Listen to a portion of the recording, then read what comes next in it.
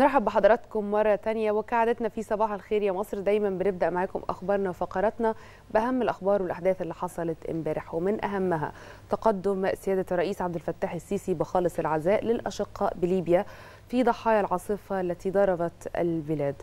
وأكد سيادته تضامن مصر حكومة وشعبا مع أشقائنا في مصابهم الأليم. أيضا أعرب عن تمنياته للمصابين بالشفاء العاجل وأن تمر هذه الأزمة سريعا.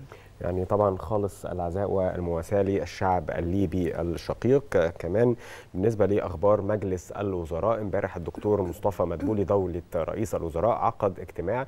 الاجتماع ده تابع فيه مقترحات تطوير منطقة جنوب القاهرة التاريخية. وكمان تابع المشروعات الجديدة في المنطقة الصناعية الصينية تيدا مصر التابعة للمنطقة الاقتصادية لقناة السويس. خلونا نعرف تفاصيل أكثر من خلال هذا التقرير.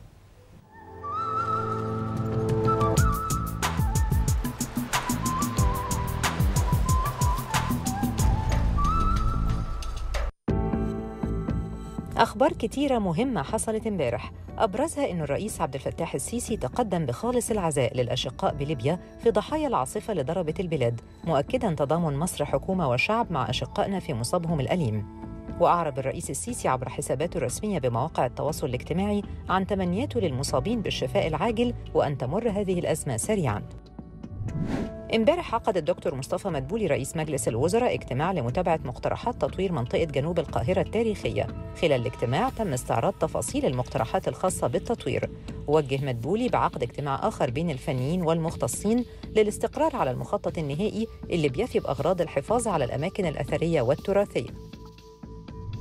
امبارح عقد الدكتور مصطفى مدبولي رئيس مجلس الوزراء اجتماع لمتابعة المشروعات الجديدة بالمنطقة الصناعية الصينية تيدا مصر التابعة للمنطقة الاقتصادية لقناة السويس. واستهل مدبولي الاجتماع بالإشارة إلى أن الحكومة تولي اهتمام كبير بالاستثمارات الصينية في المنطقة الاقتصادية لقناة السويس في ضوء رغبة عدد كبير من الشركات الصينية في الاستثمار في السوق المصرية.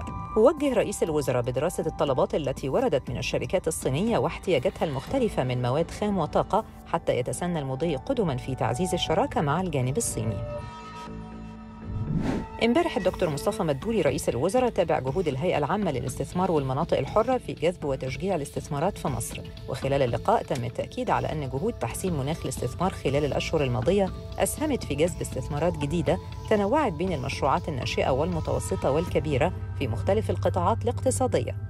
ده بالإضافة لتسليم الرخصة الذهبية لأربع شركات ليصل إجمالي الشركات الحاصلة على الرخصة الذهبية 22 شركة كما تم تأسيس أول 30 شركة إلكترونية. امبارح أكدت الحكومة أنه لم يتم إصدار أي قرارات بفرض أي رسوم جديدة على دخول السائحين لمصر بخلاف الرسوم السارية والمعمول بها الخاصة بتأشيرات الدخول لعدد من الدول. وأوضح المركز الإعلامي لمجلس الوزراء أن القرار الخاص بتحصيل رسوم بقيمة ألف دولار لا علاقة له بالسائحين القادمين لمصر لأغراض السياحة وإنما يختص بضوابط تقنين وتوفيق أوضاع الأجانب المقيمين بمصر إقامة غير شرعية.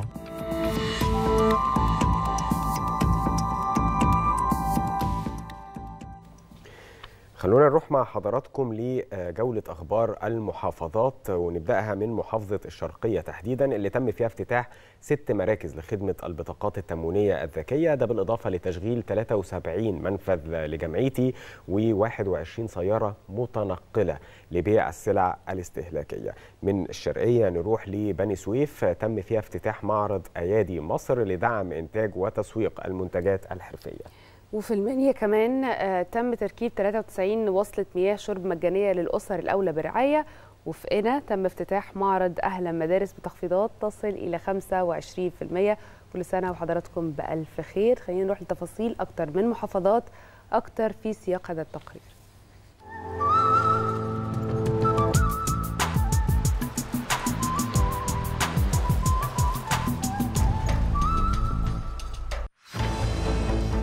محافظات مصر شهدت امبارح أخبار وأحداث كتيرة. في الشرقية تم افتتاح ست مراكز لخدمة البطاقات التموينية الذكية بالإضافة لتشغيل 73 منفذ جمعيتي و21 سيارة كمنفذ متنقل لبيع السلع الاستهلاكية وإقامة معارض أهل المدارس لبيع منتجات ومستلزمات المواطنين بسعر أقل من الأسواق.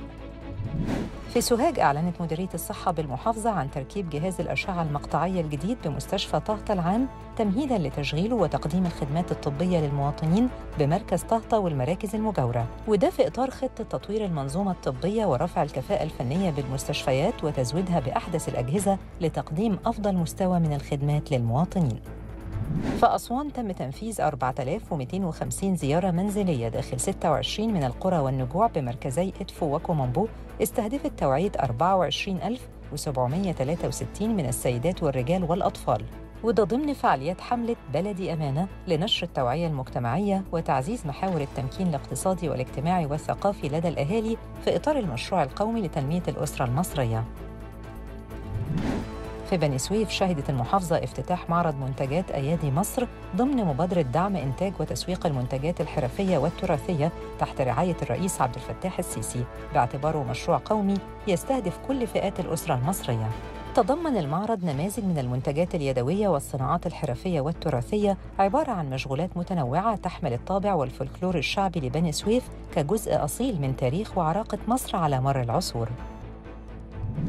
في المنيا أعلنت مديرية التضامن الاجتماعي أنه تم تركيب 93 وصلة مياه شرب مجانية بقرية الصليبة في محافظة المنيا دعماً للأسر الأولى بالرعاية واللي تم اختيارها وفقاً لعدة معايير منها المستوى المادي والاقتصادي والمعيشي للأسر المستحقة وفق معايير التنمية وترتيب النطاقات الأشد احتياجاً. في أسيوط أعلنت المحافظة عن بدء فعاليات لجنة تقييم المشروعات المقدمة بالمبادرة الوطنية للمشروعات الخضراء الذكية وعقد مقابلات مع أصحاب المشروعات لاختيار أفضل 18 مشروع على مستوى المحافظة وده في إطار جهود الدولة لتحقيق التنمية المستدامة في سياق تنفيذ رؤية مصر 2030 من خلال الحفاظ على البيئة لتحسين نوعية الحياة ومراعاة حقوق الأجيال القادمة وتنفيذ الاستراتيجية الوطنية لتغير المناخ 2050 في المنوفية أعلنت مديرية التضامن عن استلام 3542 سلة غذاء من الأوقاف لتوزيعها على الأسر الأولى بالرعاية في مركز أشمون وده في ظل اهتمام الدولة بالقطاع الاجتماعي ورعاية الأيتام والفقراء. في الغربية نفذت مديرية الطب البيطري ثلاث قوافل بيطرية مجانية بقرى تطاي مركز السنطة ومنية إبيار وأبو الغرب مركز كفر الزيات وده في إطار تنفيذ فعاليات القوافل البيطرية للقرى الأكثر احتياجاً ضمن مبادرة حياة كريمة. في قنا شهدت المحافظة افتتاح معرض أهل المدارس بميدان الساعة لتوفير المستلزمات المدرسية والأدوات المكتبية بأسعار مخفضة ضمن فعاليات مبادرة كلنا واحد. بيوفر المعرض جميع المستلزمات والأدوات المدرسية والزي المدرسي للطلاب بمراحل التعليم المختلفة بأسعار مخفضة بنسبة 25% مع التركيز على المنتج المصري بهدف تعميق الصناعات المحلية.